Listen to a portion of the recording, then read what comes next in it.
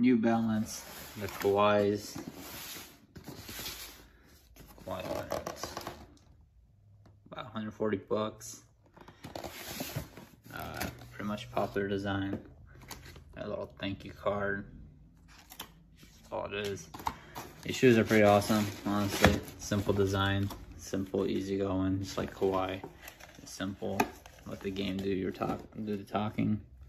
Uh, kind of looks like other shoes, like Nike ones that have them like this, but it's pretty much similar to different types of styles and basketball shoes. But pretty much this is how it is.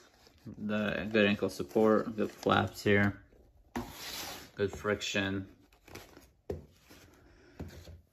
It's overall just a nice, light, simple, good all-around shoes with the support here and the nice like comfy flap where it's not really jamming into your like ankles or anything. Inside's pretty much simple. There's really not much to show you about this shoe.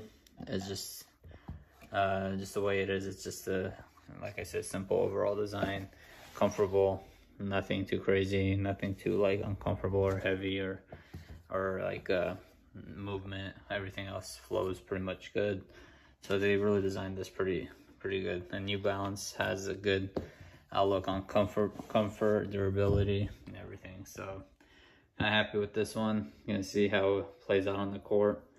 Could be good, could be worse, but the shoes, shoes. Uh,